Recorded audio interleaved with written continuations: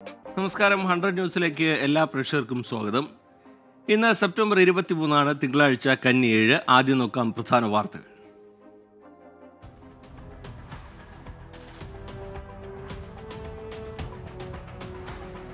ഷിരൂരിൽ മണ്ണിടിച്ചിലിൽ കാണാതായ അർജുൻ ഉൾപ്പെടെയുള്ളവർക്കായുള്ള തെരച്ചിൽ ഇന്നും തുടരും. ഡ്രഡ്ജർ ഉപയോഗിച്ച് കൂടുതൽ സ്പോട്ടുകളിൽ പരിശോധന നടന്നു.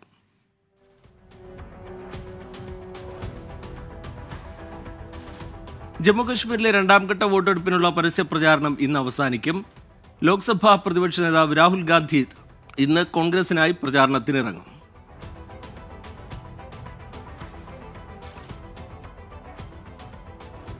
കോഴിക്കോട് ചങ്ങരോത്ത് ഗ്രാമപഞ്ചായത്തിൽ മഞ്ഞപ്പിത്തം വ്യാപിക്കുന്ന സാഹചര്യത്തിൽ പ്രതിരോധ പ്രവർത്തനങ്ങൾ ഊർജിതമാക്കി ആരോഗ്യവകുപ്പ്. രോഗം പടർന്നു പിടിക്കാനുള്ള സാധ്യത കണക്കിലെടുത്ത് വടക്കുംപാട് ഹയർ സെക്കൻഡറി സ്കൂളിൽ ഇന്ന് അവധി നൽകി.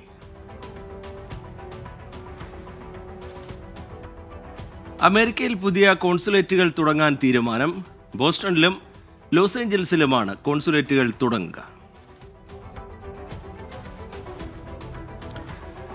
ശബരിമലയിലെ മണ്ഡല മകരവിളക്ക് സീസണിൽ നിലയ്ക്കൽ പമ്പ റൂട്ടിൽ സൗജന്യ സർവീസ് നടത്താൻ അനുമതി തേടിയുള്ള വിശ്വ ഹിന്ദു പരിഷത്തിന്റെ ഹർജി സുപ്രീം കോടതി ഇന്ന് പരിഗണിക്കും.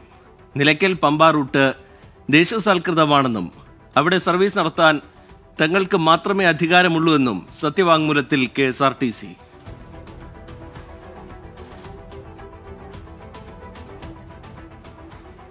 കേന്ദ്ര സർക്കാരിന്റെ തൊഴിൽ നിയമങ്ങൾക്കെതിരെ കേന്ദ്ര തൊഴിലാളി യൂണിയനുകൾ ഇന്ന് രാജ്യവ്യാപകമായി കരിദിനം ആചരിക്കും. ട്രേഡ് യൂണിയനുകൾ പ്രഖ്യാപിച്ച കരിദിനാചരണത്തിന് പിന്തുണ പ്രഖ്യാപിച്ച് സംയുക്ത കിസാൻ മോർച്ച രംഗത്ത് വന്നു.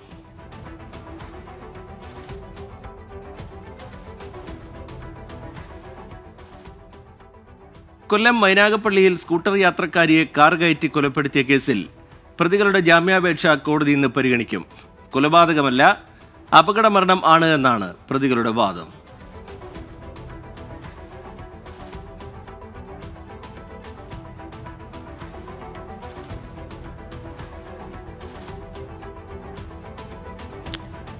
നോക്കാം കേരളത്തിലെ പ്രധാന വാർത്തകൾ.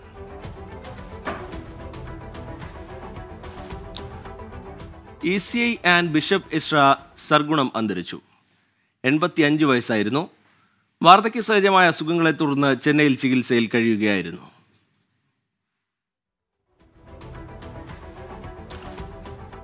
കാസർഗോഡ് കാഞ്ഞങ്ങാട് ബാലസംഘം ജില്ലാ സമ്മേളനത്തിന്റെ ഭാഗമായി ഫ്ലാഷ് മോബ് സംഘടിപ്പിച്ചു. ഇരുപത് കുട്ടികൾ പങ്കെടുത്തു.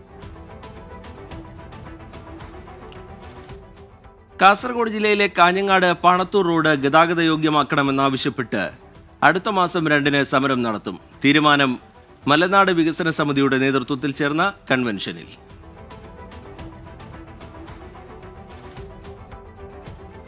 കാസർഗോഡ് അമീബിക് മസ്തിഷ്ക ജ്വരം ബാധിച്ച് യുവാവ് മരിച്ചു. ചട്ടഞ്ചാൽ സ്വദേശി എം മണികണ്ഠനാണ് മരിച്ചത്.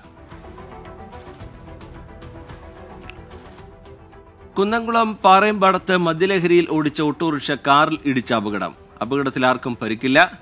അപകടത്തെ തുടർന്ന് മദ്യലഹരിയിലായിരുന്ന ഓട്ടോറിക്ഷ ഡ്രൈവറെ കുന്നംകുളം പോലീസ് കസ്റ്റഡിയിലെടുത്തു.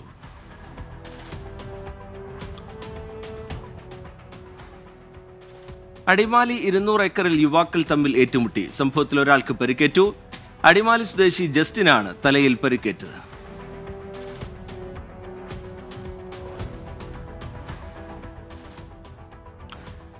അമർനാഥ് പള്ളത്ത് ഇംഗ്ലീഷിൽ എഴുതിയ K P Sudheera hearts imprint എന്ന ജീവചരിത്ര പുസ്തകം പ്രകാശനം ചെയ്തു. Goa governor P S Sreedharan Pillai Kerala മനുഷ്യാവകാശ കമ്മിറ്റി ജുഡീഷ്യൽ അംഗം ബൈജുനാഥിന് പുസ്തകം നൽകി പ്രകാശന കർമ്മം നിർവഹിച്ചു.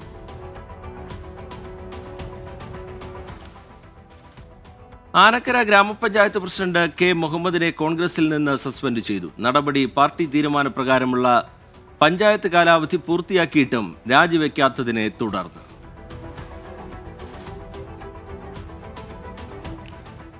ഭൂമി ഏറ്റെടുക്കൽ സംബന്ധിച്ച് നിലനിന്നിരുന്ന ആശയക്കുഴപ്പങ്ങൾ പരിഹരിച്ചതോടെ കൊല്ലം ചെങ്കോട്ട ഗ്രീൻഫീൽഡ് ദേശീയപാതയുടെ ഭൂമി ഏറ്റെടുക്കൽ നടപടികൾ പുനരാരംഭിച്ചു. തിരുവനന്തപുരം കൊല്ലം ജില്ലകളിലായി ഏറ്റെടുക്കേണ്ടത് ഇരുന്നൂറ്റി അൻപത്തിരണ്ട് ഹെക്ടർ ഭൂമി. ഇടുക്കി പ്രസ് ക്ലബ്ബും വാലറ്റ് ഫ്രെയിംസും സംയുക്തമായി സംഘടിപ്പിച്ച ഇടുക്കി ഫിലിം ഫെസ്റ്റിവലിൽ വിജയികൾക്കുള്ള പുരസ്കാര വിതരണവും ഫിലിം പ്രദർശനവും ഇന്ന് നടക്കും. പ്രസ് ക്ലബ്ബ് ഹാളിൽ രാവിലെ പത്ത് മണിക്ക് പ്രസിഡന്റ് വിനോദ് കണ്ണോളി പ്രകാശനം ഉദ്ഘാടനം ചെയ്യും. പത്തനംതിട്ട വാളക്കുഴി ജല അതോറിറ്റിയുടെ കുഴൽ തകർന്ന് റോഡിൽ ഗർത്തം രൂപപ്പെട്ടു. വാളക്കുഴി പാറക്കടവ് റോഡിൽ Perumprakkavu M T L P സ്കൂളിന് സമീപത്താണ് ഈ കാഴ്ച. മൂന്നടി താഴ്ചയിലാണ് കുഴി രൂപപ്പെട്ടിരിക്കുന്നത്.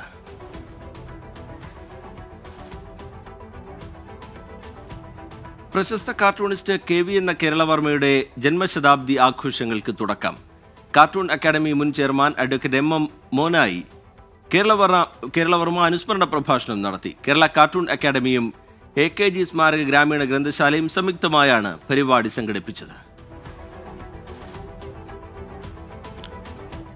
മൂന്നാർ കന്നിമല എസ്റ്റേറ്റിൽ കാട്ടാനകളുടെ ശല്യം രൂക്ഷം. പകൽ സമയങ്ങളിലും കാട്ടാന ശല്യം രൂക്ഷമായതിനെ തുടർന്ന് ജനങ്ങൾക്ക് പുറത്തിറങ്ങി നടക്കാൻ പോലും കഴിയുന്നില്ല എന്ന് പരാതി. മലപ്പുറം തിരൂരിൽ എം ഡി എം എയുമായി മൂന്ന് പേർ അറസ്റ്റിൽ. മുഹമ്മദ് തൻസീഫ് ജാഫർ സിദ്ദീഖ് ഷിബിൻ ഷിബിൻ റഹ്മാൻ എന്നിവരാണ് അറസ്റ്റിലായത്.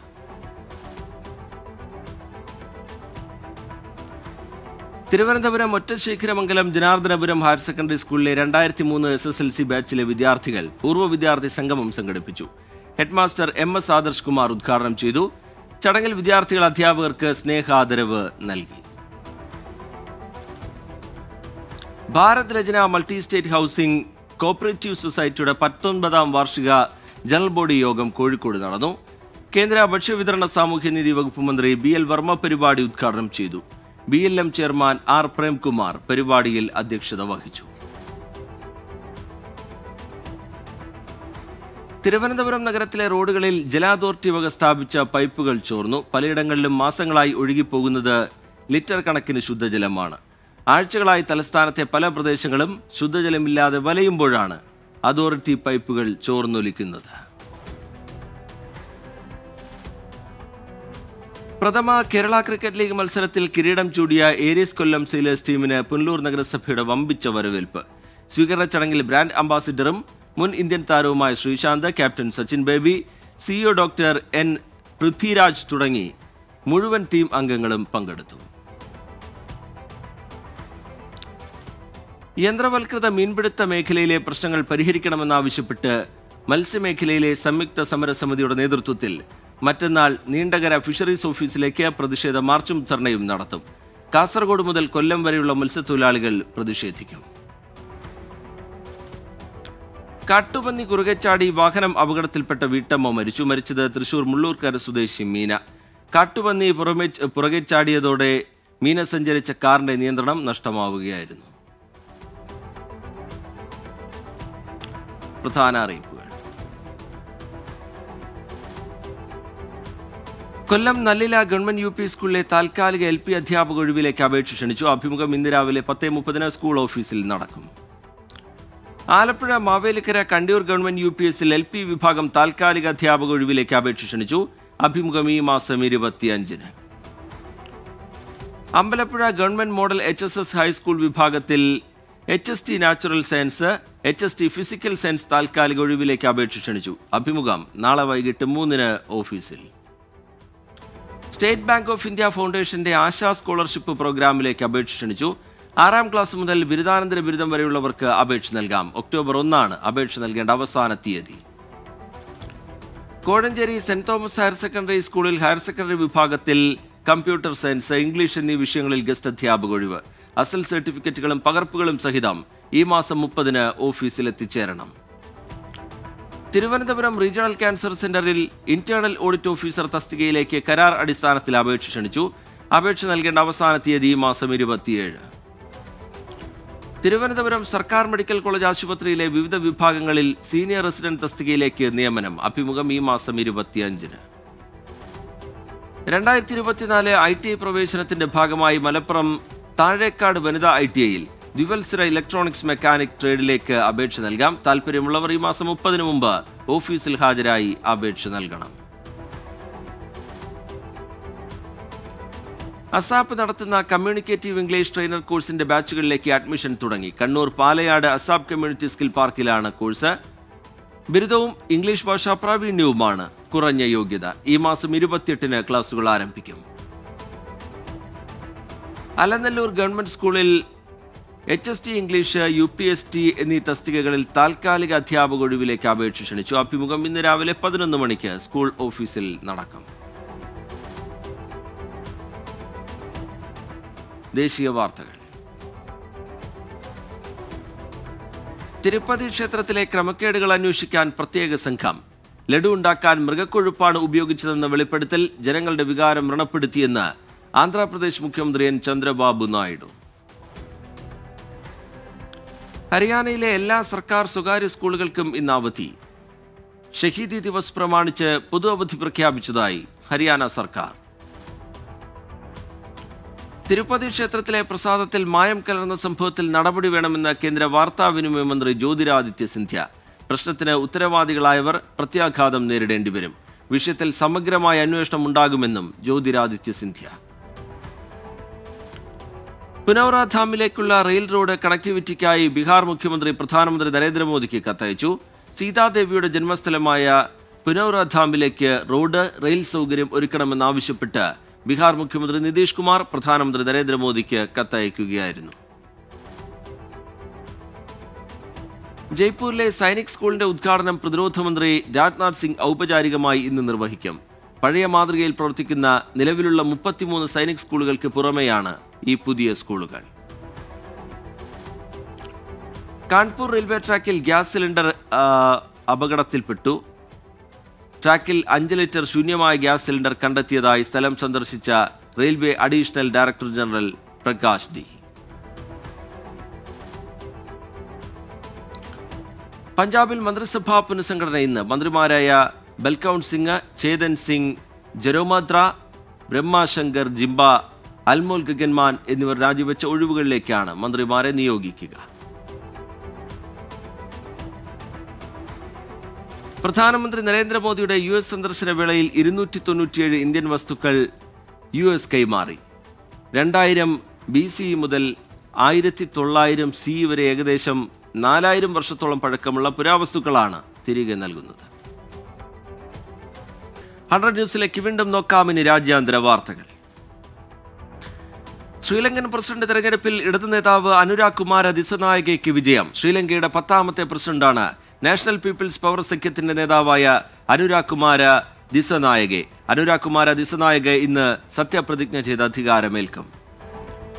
അമേരിക്കൻ സന്ദർശനത്തിനിടെ ന്യൂയോർക്കിൽ ഇന്ത്യൻ സമൂഹത്തെ അഭിസംബോധന ചെയ്ത് പ്രധാനമന്ത്രി നരേന്ദ്രമോദി. പ്രവാസികൾ ഇന്ത്യയുടെ ബ്രാൻഡ് അംബാസിഡർമാരാണെന്നും വൈവിധ്യമാണ് ഇന്ത്യയുടെ കരുത്തെന്നും മോദി. ഇന്ത്യയിലെ നൂറ്റി നാൽപ്പത് കോടി ജനങ്ങളെ ബൈഡൻ ബഹുമാനിച്ചെന്നും മോദി. ബെയ്റൂട്ടിൽ ഇസ്രയേലിന്റെ വ്യോമാക്രമണം. ആക്രമണത്തിൽ മരിച്ചവരുടെ എണ്ണം നാൽപ്പത്തിയഞ്ചായി. ആക്രമണത്തിൽ കാണാതായ പതിനേഴ് പേർക്കായി തെരച്ചിൽ തുടരുന്നു. യു എസിലെ അലബാമയിൽ വെടിവെപ്പ്. നാലു പേർ കൊല്ലപ്പെട്ടു. പന്ത്രണ്ടിലധികം പേർക്ക് പരുക്ക്. അന്വേഷണം ഊർജിതമാക്കി പോലീസ്. മലേഷ്യയിലെ കെയർ ഹോമുകളിൽ വലിയ രീതിയിൽ ബാലപീഡനം നടക്കുന്നതായി കണ്ടെത്തൽ. അന്വേഷണത്തിന്റെ ഭാഗമായി മുന്നൂറ്റി അൻപത്തിയഞ്ച് പേർ അറസ്റ്റിൽ. ചാരിറ്റി ഹോമുകൾ ക്ലിനിക്കുകൾ വ്യാപാര സ്ഥാപനങ്ങൾ മതപഠനശാലകൾ എന്നിവയുൾപ്പെടെ എൺപത്തിരണ്ട് സ്ഥലങ്ങളിൽ പോലീസിന്റെ റെയ്ഡ്. സാമ്പത്തിക സഹകരണത്തിൽ ഡയലോഗ് ചാനൽ ആരംഭിക്കാൻ ഒരുങ്ങി ദക്ഷിണ കൊറിയയും ചെക്ക് റിപ്പബ്ലിക്കും. ഇരു രാജ്യങ്ങളും പ്രാഗിൽ നടന്ന കൂടിക്കാഴ്ചയിലാണ് കരാറിന് ധാരണയായത്. ലോകത്തിലെ ഏറ്റവും ഉയരമുള്ള ക്രിസ്തു പ്രതിമ ഇനി ഇന്തോനേഷ്യയ്ക്ക് സ്വന്തം. അറുപത്തിയൊന്ന് മീറ്റർ ഉയരമുള്ള പ്രതിമ നോർത്ത് സുമാത്ര പ്രവിശ്യയ്ക്ക് സമീപമുള്ള സിബിയാബിയ കുന്നിലാണ് സ്ഥാപിച്ചത്. തായ്വാൻ അതിർത്തിയിൽ വീണ്ടും പ്രകോപനവുമായി ചൈന. അതിർത്തിയിൽ നിന്ന് ആറ് ചൈനീസ് സൈനിക വിമാനങ്ങളും ആറ് നാവിക കപ്പലുകളും കണ്ടെത്തിയതായി തായ്വാൻ പ്രതിരോധ മന്ത്രാലയം.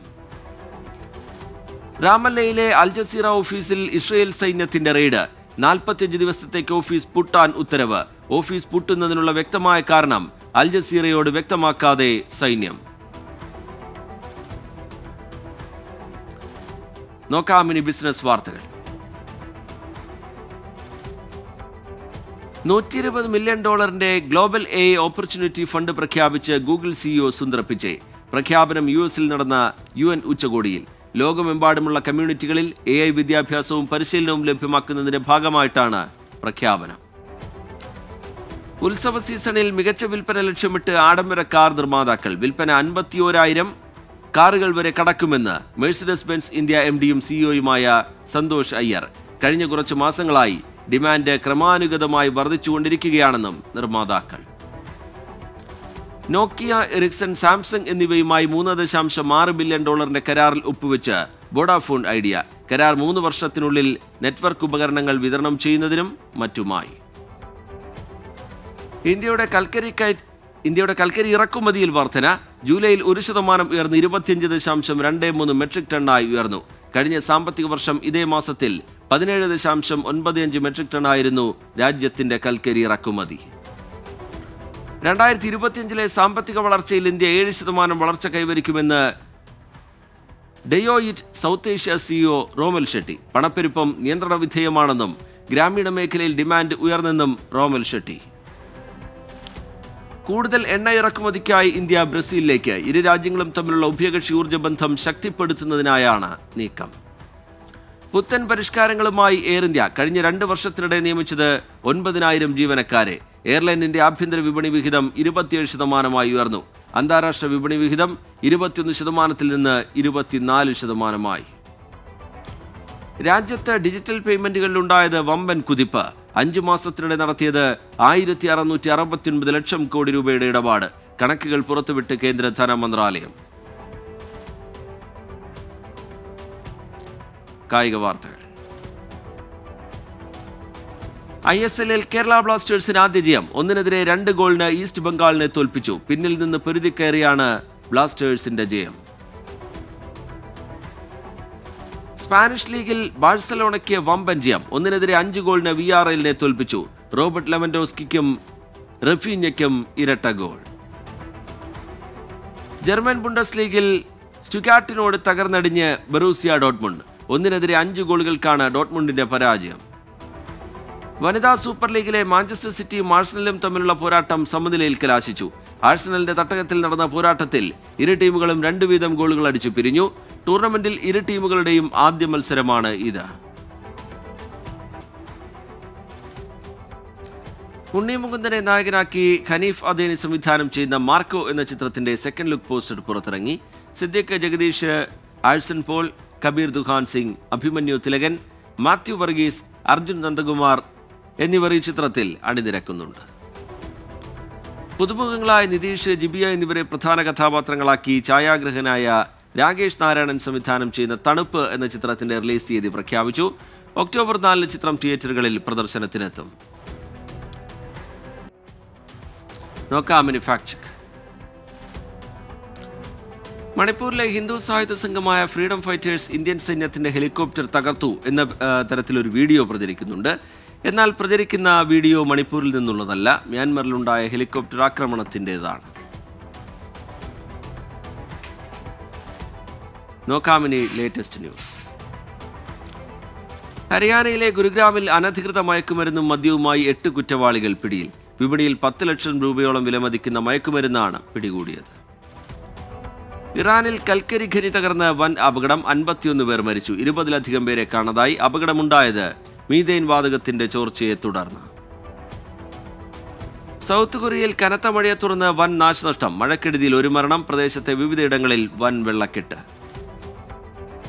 പാകിസ്ഥാനിലുണ്ടായ ബോംബ് സ്ഫോടനത്തിൽ പോലീസ് ഉദ്യോഗസ്ഥൻ കൊല്ലപ്പെട്ടു. നാലു പേർക്ക് പരിക്കേറ്റു. സ്ഫോടനമുണ്ടായത് വിദേശ നയതന്ത്ര ഉദ്യോഗസ്ഥരുടെ സുരക്ഷാ വിഭാഗത്തിന് നേരെ. നോക്കാം ഇപ്പോൾ കിട്ടിയ പ്രധാന വാർത്തകൾ. നേപ്പാളിൽ ഭൂചലനം നാല് ദശാംശം മൂന്ന് തീവ്രത രേഖപ്പെടുത്തി ആളപായം ഇല്ല. ജമ്മുകശ്മീരിൽ വാഹനാപകടം അപകടത്തിൽ ഒരു മരണം പരുക്കേറ്റയാളെ ആശുപത്രിയിലേക്ക് മാറ്റി.